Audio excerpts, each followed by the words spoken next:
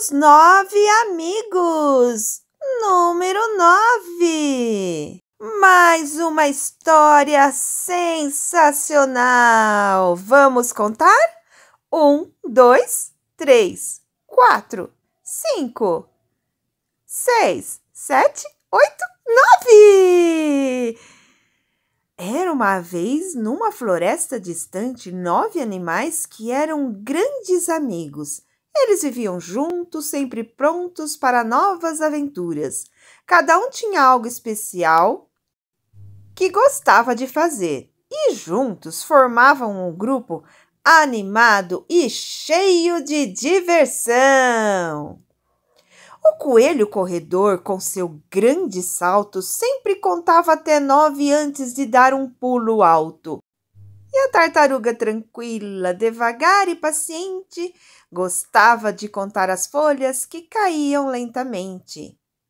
O passarinho cantor, lá no seu ninho, cantava nove notas em seu som bonitinho.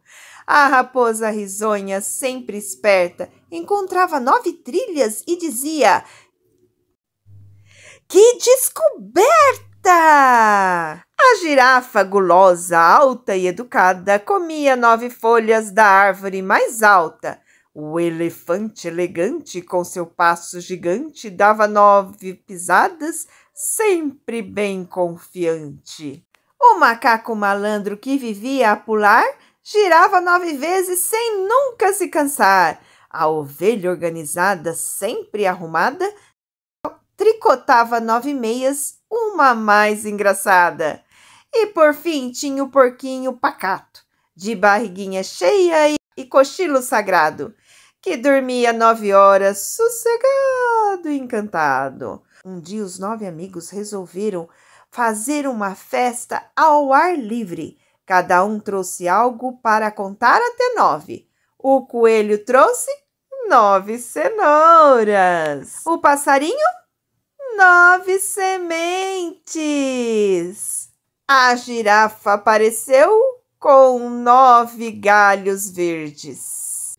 Assim, todos compartilharam e riram sem parar, mostrando como é bom ter amigos para brincar e contar.